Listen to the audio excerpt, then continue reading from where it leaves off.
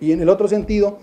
pues el gobernador nos ha instruido a ver qué podemos hacer para tratar de ayudar a todas las organizaciones y a todos los frijoleros, a todos los productores de frijol en el Estado en este momento.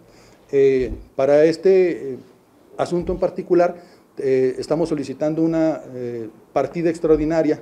al, al, gobierno para poderlos ayudar. Y dos, estamos generando un presupuesto para el 2023 en el cual el tema del frijol sea un tema fuertemente apoyado, desde la semilla hasta los paquetes tecnológicos, para poder suplir un poco lo que está pasando en este momento. El descapitalizar a los frijoleros en este momento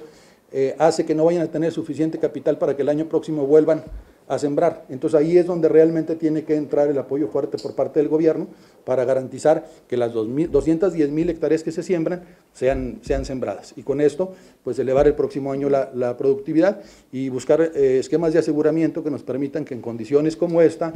eh, se pueda tener un seguro catastrófico. Desafortunadamente el Estado de Durango no tenía eh, contemplado un seguro catastrófico para estos temas durante los últimos años y será hasta el próximo año donde estaremos contemplando cómo pudiéramos retomar el tema del seguro catastrófico y bajo qué esquemas también, porque es un tema complejo en cuanto al tema financiero, pero sí lo estamos buscando sin duda alguna.